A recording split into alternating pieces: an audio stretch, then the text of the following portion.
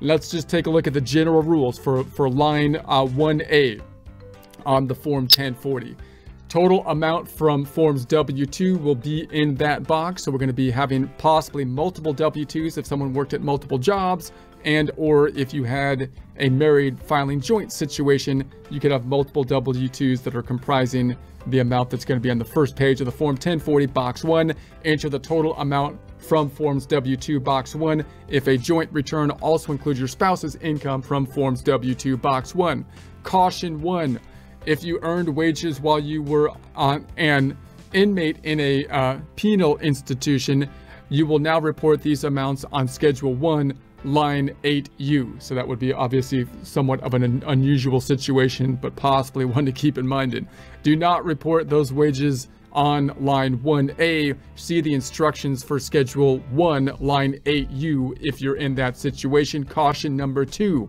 If you received a pension or annuity from a non-qualified deferred compensation plan or a non-government section 457B plan and it was reported in box 1 of Form W2, do not include this amount on Form 1040 of line 1A. This amount is reported on Schedule 1, line 18.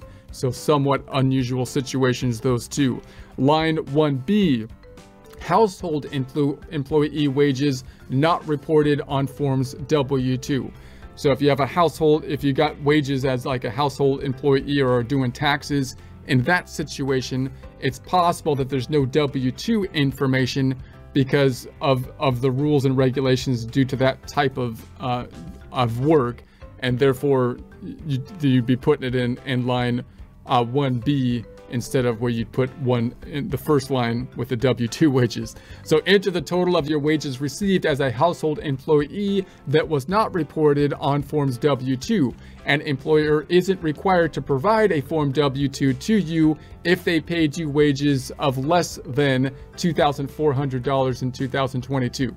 So that's one of those situations. Remember the general rule, the IRS is always trying to force the payer to issue some kind of report such as a W-2 or 1099 but in some cases they can't they don't do that or they they're not forcing in that case because in this case you're not talking about a business situation you're talking about more of a personal like uh, type of situation and therefore and the income is fairly low under a certain threshold and therefore even though you don't get a W-2 you should still need to report the income for information on employment taxes for household employees, you can see Tax Topic 756.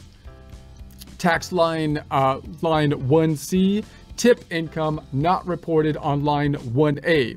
So enter the total of your tip income that was not reported on Form 1040, line 1A.